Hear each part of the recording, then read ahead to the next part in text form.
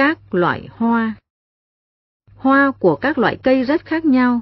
Để phân chia hoa thành các nhóm, một số bạn căn cứ vào bộ phận sinh sản của hoa. Có bạn lại dựa vào số lượng hay đặc điểm của cánh hoa. Có nhóm lại dựa trên cách sắp xếp hoa trên cây. Còn chúng ta hãy chọn cách phân chia hoa căn cứ vào bộ phận sinh sản chủ yếu và dựa vào cách sắp xếp hoa trên cây. 1. Phân chia các nhóm hoa căn cứ vào bộ phận sinh sản chủ yếu của hoa. Quan sát từng hoa trong hình 29.1 hoặc hoa đã mang đến lớp. Tìm xem mỗi hoa có bộ phận sinh sản chủ yếu nào, rồi đánh dấu vào mục các bộ phận sinh sản chủ yếu của hoa trong bảng dưới đây. Các em kẻ một bảng, gồm có 4 cột, 9 hàng. Hàng thứ nhất, cột thứ nhất, ghi hoa số mấy. Cột thứ hai, ghi tên cây. Cột thứ ba, các bộ phận sinh sản chủ yếu của hoa. Ở cột 3, các em chia làm hai cột nhỏ. Cột thứ nhất, nhị. Cột thứ hai. Nhụy. Cột thứ tư. Thuộc nhóm hoa nào? Chấm hỏi. Ở hàng thứ hai. Ba. Bốn. Năm. Sáu. Bảy. Tám. Chín. Cột thứ nhất các em đánh số thứ tự, từ một đến tám. Căn cứ vào bộ phận sinh sản chủ yếu của hoa hãy chia các hoa đó thành hai nhóm và kể tên các hoa trong mỗi nhóm. Hãy chọn những từ thích hợp trong các từ hoa đơn tính, hoa đực, hoa lưỡng tính, hoa cái, điền vào chỗ trống trong các câu dưới đây.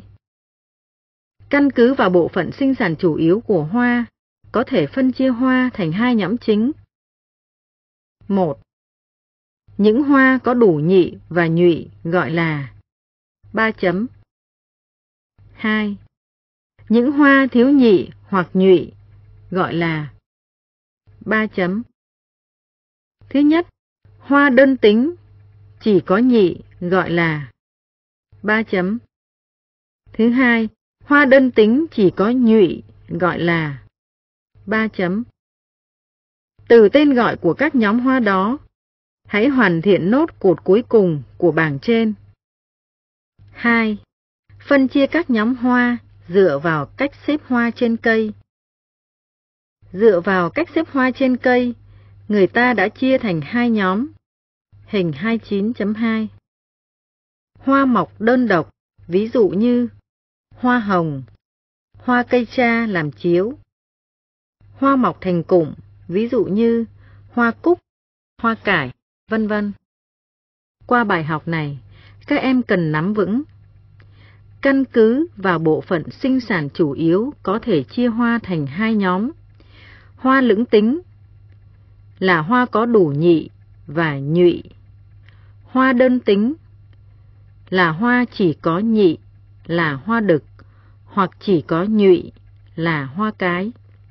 Căn cứ vào cách xếp hoa trên cây, có thể chia hoa thành hai nhóm, hoa mọc đơn độc và hoa mọc thành cụm. Câu hỏi về nhà 1. Căn cứ vào đặc điểm nào để phân biệt hoa lưỡng tính và hoa đơn tính? Hãy kể tên ba loại hoa lưỡng tính và ba loại hoa đơn tính mà em biết. 2. Có mấy cách xếp hoa trên cây. Cho ví dụ. 3. Câu hỏi có ngôi sao. Những hoa nhỏ thường mọc thành từng cụm, có tác dụng gì đối với sâu bọ và đối với sự thụ phấn của hoa?